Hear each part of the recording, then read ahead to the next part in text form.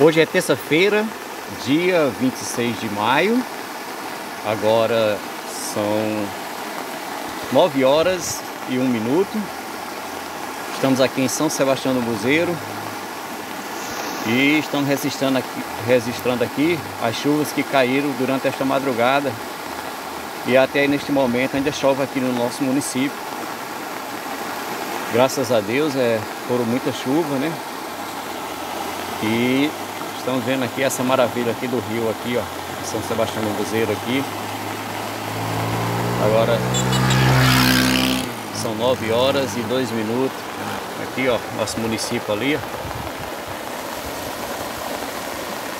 Tá aqui. Muita água descendo aqui para o açude de Santo Antônio aqui, ó. É isso aí, pessoal.